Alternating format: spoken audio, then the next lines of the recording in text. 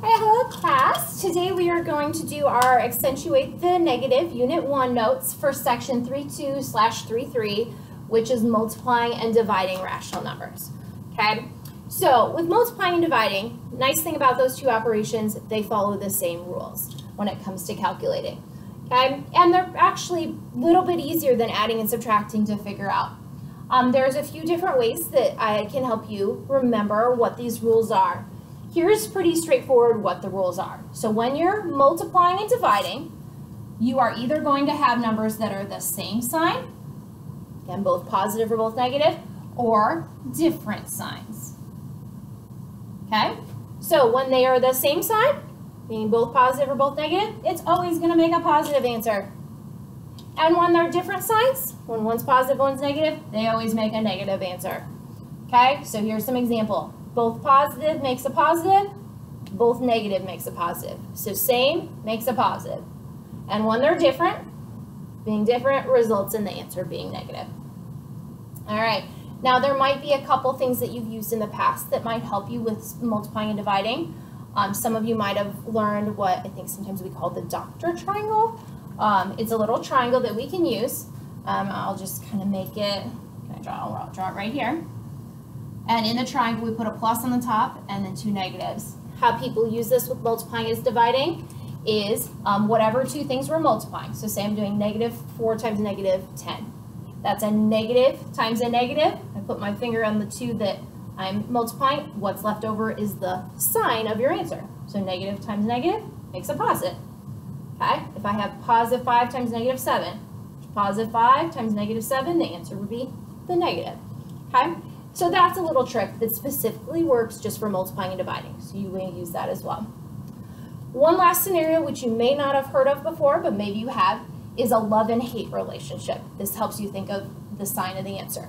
So here's how it works. So it says, if you love to love, well, if you love to love, would that make you a lover or a hater? Well, if you love to love, obviously that means you love. Okay? How does that relate to positives and negatives? Well, if love is positive, hate is negative, that's showing you a positive and a positive results and a positive. Okay? Well, let's look at all the scenarios now. What if you love to hate? So if you love hating, well, if you love hating, that doesn't make it make you a lover. That would make you a hater, right? So that's showing you a positive and a negative results in a negative. What if you hate to love? Hating to love? Well, that would also make you a hater. All right, so that's showing you a negative and a positive makes a negative. All right, what about this? What if you hate to hate? You don't want anything to do with hating. Well, that would make you a lover. Okay, so that's showing you that two negatives make a positive. So I know, kind of silly, but it does help you remember um, the rules for multiplying and dividing. Okay, so again, whatever of these things you like to memorize, it's up to you to help you with your multiplying and dividing, but they just work for those two operations. Okay, so let's figure this out. We've got negative 7 times 2. Okay, all I ask myself is, are they the same or different? These are different, so it's negative. Okay, and then we just multiply. 7 times 2 is 14. All right, these two, it's a division, but it's positive and a negative. Those are not the same, those are different. Difference always negative. So then 40 divided by 8 makes 5. Woo, now some fractions. Okay, we are multiplying two fractions here. First, let's figure out our sign. Negative times positive, they're different, so it's going to make it negative. Okay, now what we want to remember when we multiply fractions, we do not have to make a common denominator, so it makes this easier. Okay, so we can just go ahead and multiply our numerators. 3 times 4, which makes 12, and then 8 times 5, which makes uh, 40. But then we would need to reduce. Well, both of these numbers are divisible by 4. So I can divide them both by 4 and I would get negative 3 and I would get 10. So then that would be my answer. Now there is a shortcut here. Instead of just multiplying straight across and then trying to reduce, the shortcut would be to do what we call cross reducing. And that's where we look to see, do, does anything reduce diagonally across? Well, 3 and 5, those don't have any common factors, but 4 and 8 do. 4 and 8, 4 goes into 4 one time, and 4 goes into 8 two times. So if I cross reduce like that, then I can just say 3 times 1, there's my 3, and 2 times 5, there's my 10. With, and that allows you to skip having these larger numbers in there. So I think that's very helpful. It's easier to reduce smaller numbers than it is to reduce larger numbers. So if you can think to cross reduce, that will help you along the way. All right, now we've got a decimal and a whole number that we're multiplying. Okay, so first of all, it's a positive times a negative. Those are different signs, which will make a negative answer. So now how do we multiply those? Well, when you're multiplying with a decimal, you do not have to line up the decimal. What we can just do, I know some of you have learned some lattice things and whatnot. I'm just going to show you the standard way of multiplying. So if I take 2.5 times 4, okay, we just take 5 times 4, which would be 20. So I put the 0 and carry the 2. And then 2 times 4 is 8, plus 2 would be 10. And then we keep that decimal, or sorry, the decimal since it's one spot over, we move our decimal one spot over. So it would be 10.0. Or we don't need a 0.0 after it, so it would just be plain old negative 10. Now, many of you could probably multiply those maybe without writing it this way.